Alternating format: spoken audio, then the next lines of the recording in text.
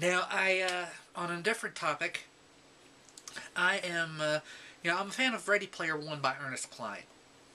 In fact, uh, due to Ready Player One, I've actually picked up uh, Armada. I'm actually about to start Chapter Six on Armada, and you know, see how that goes. But I love Ready Player One. I mean, not just because of the fact that I'm a child of the '80s. I, you know, I love the 1980s, and I got I got a lot of the references. Some of them I had to actually look up because it's been a while since the last, you know, got any of the of the references. Hell, I actually had to do that with one of the lines from uh, uh, from Armada, which I ha- couldn't recognize right off the bat. It being a line from the movie Say Anything. But uh, and of course, you know, uh, the the thing I wanted to talk about is the Ready Player One film that's coming up. That's directed by. It's going to be directed by Steven Spielberg. Actually, it's being directed by Steven Spielberg. Now, uh, I do have some concern about uh, about Ready Player One, the film, and that's in concern with Steven Spielberg. Now, I know many people are like, "But this is Steven Spielberg. You know, he's a big name." Yes, that's true, but I'm a little concerned about the tone of the film that's coming up. You see, when it comes to Spielberg's work, you know, his early work, even uh, even the stuff that he did in the 1980s with Always and E.T. and Raiders of the Lost Ark, and, and you know, and all those films, uh, even the stuff that uh, that he sort of produced in that time, you know, all seemed like they had like a little bit of a heart to them, you know, like a, a youthfulness, like young at heart, like that, uh, you know, that a person. I mean, it's like the director behind the wheel, uh, behind that the those productions, had a lot of heart. You know, like they were young at heart, no matter how old they got. And of course, you know that that feeling uh, shines through in a lot of his films. I mean, when you watch Close Encounters of the Third Kind, you feel hope. When you uh, watch, you know, Jaws, you still feel, you know, that it's someone that's young at heart behind that, that camera. And even with Jurassic Park, you know, it, it, it had that feeling. But then, uh, but then he, then Spielberg did Schindler's List, and his his mentality If it feels like his mentality changed when it came to his, uh, the films everything became dark and gritty and it's like he went from someone who was young at heart to someone who is old and bitter. And even his comedies you know don't seem like like like they're supposed to, i mean his comedies feel like you know they're dark and gritty as well. I mean in tone I mean, if you look at like Jurassic Park, it feels like okay, young at heart, someone young at heart, you know, is directing it. But then after Schindler's List, everything else after that, it's like, I mean, even with the Terminal, it feels you know dark, gritty, and it's like, like he's dropped into you know he became a cynic, and it just it royally sucked it sucks as a result that you know all of his films afterwards you know lost that that feeling because I mean it's like a, dr- a gigantic shift in tone. It's the same way how I feel about James Cameron and his work.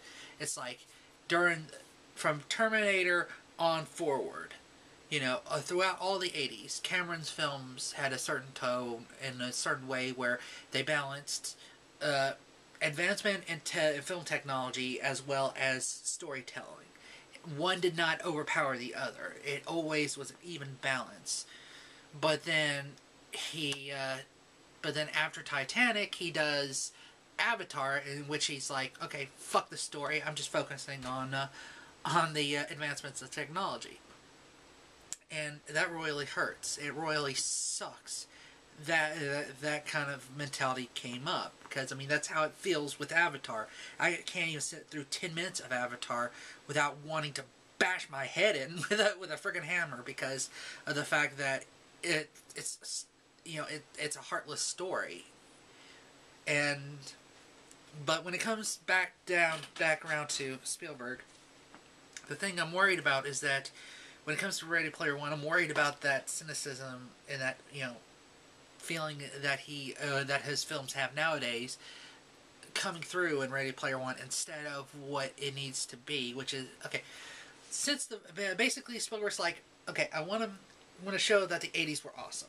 Okay, I get that idea, but in order for him to show that the '80s are awesome, he needs to make this film with the same tone that he had when he made E.T., when he made Raiders of the Lost Ark, when he made Always, when he made Hook, when he made Jurassic Park.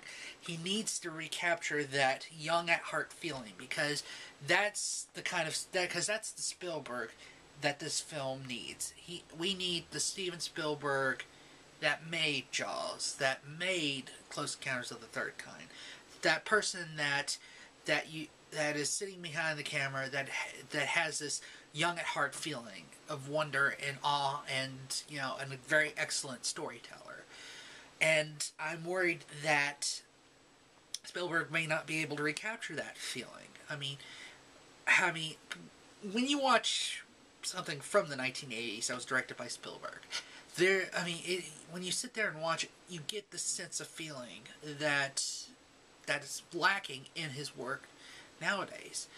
Hopefully, hopefully, hopefully, he'll be able to recapture it. Um, I'm not sure if he will or not, but some directors they've had uh, that have been in the industry for a while, whenever they shift their tone, they tend to lose track of uh, of how to get back to it. So that way, as a I mean, they basically change their tone there's so few film directors I know of nowadays that actually continue to keep that uh, that sensibility and tone about how they direct about how they direct that they've had since the the first job, first directing job. Uh, great example, John Carpenter. Everybody, I mean, all the works of John Carpenter, all have this mentality, this you know tone, this sensibility that continue that Carpenter has not changed ever since uh, the his first film, which is Dark, uh, which is Dark Star, and uh, and of course, you know, I understand, you know, changing of the times, da da da da da, but even so, I worry about Ready Player One, the film, because I'm worried that Spielberg's not able to recapture that that feeling of what it is to be watching a Spielberg film that reflects on the 1980s and in order for us to have Ready Player One, it needs to have that that Spiel that 1980s Spielberg feel. And but of course that's just me. My concerns could be just you know without merit. That's just how I am and how I observe things, and I could very well be wrong.